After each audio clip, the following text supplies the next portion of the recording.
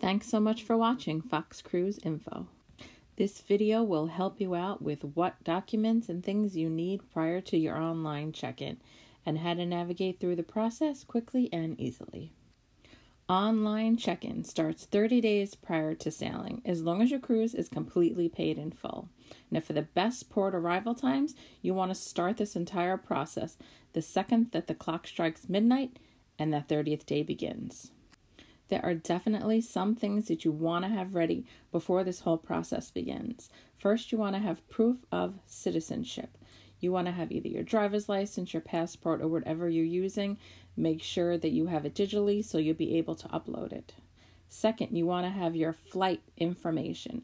Are you going to want your flight numbers and times and be able to put that information in when needed? Third, and very important, is you're going to need photos that are ready to upload uh, to the website of all the passengers in your party. The photo has to be very clear, not blurry, from about the shoulders up, nothing in the background, uh, no hats on or things like that. And it cannot be the same photo that you've used in your passport or other documents. And fourth, you will need to put in an emergency contact name and phone number, but it cannot be anyone who is going on the cruise with you. All right, now we're going to get started. Go to the Disney Cruise website and you are going to go onto the Already Booked tab and scroll down to Online Check-in. You will then click that tab.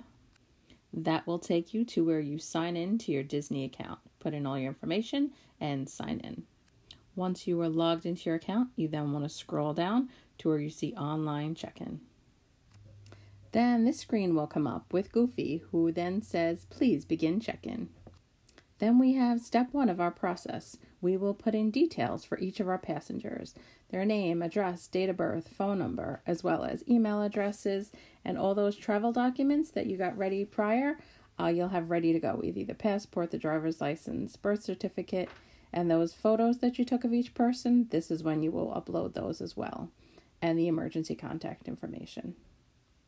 You will then have completed step one and you will see that um, one little section is now colored in.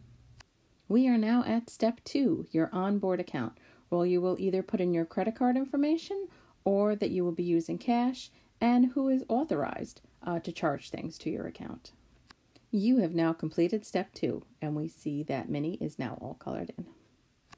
Now, step three will only come up if you are traveling with children under the age of 10 then uh, this section will come up. It is where you will give them authorization uh, to be dropped off and picked up at the Oceaneers Club, and you will set a security word that you will use in doing that. Then, if you are traveling with children, then your step three is complete.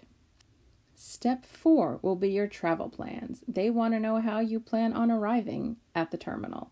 Uh, if you are taking a flight, then you will need to enter that flight information there. And they also want to know uh, what happens when you get back from the cruise. Uh, what are you doing after? Are you flying home? Are you going to Disney? They also ask that. Then you are done with step four, and we are almost finished. Step five, which is very important, the port arrival time.